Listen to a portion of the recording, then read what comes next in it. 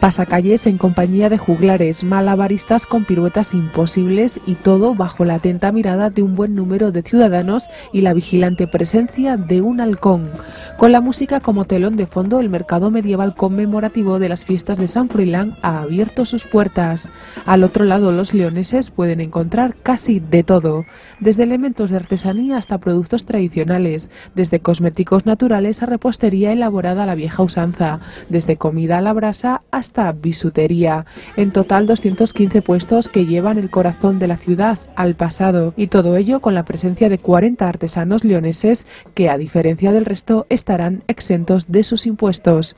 Dentro de las negociaciones con la, empresa es que los artesanos leoneses y de León y de provincia no tuviesen ningún tipo de, costes y la verdad que la influencia del artesano leonés ha respondido muy bien.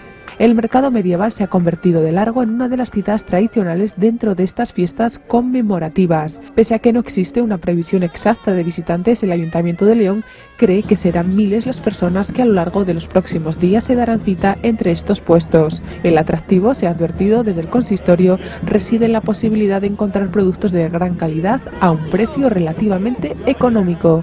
Así, el éxito de esta cita medieval cargada de tradición está asegurado. Se espera con, mucho cariño estas fiestas. Yo creo que por lo tradicional que tiene, ¿no? de nuestras tradiciones, nuestro baile, nuestra música, nuestro folclore. Y cada vez estamos viendo que incluso eh, con la colaboración del tiempo, que siempre parece que nos acompaña, estas fiestas eh, están cobrando mucha importancia.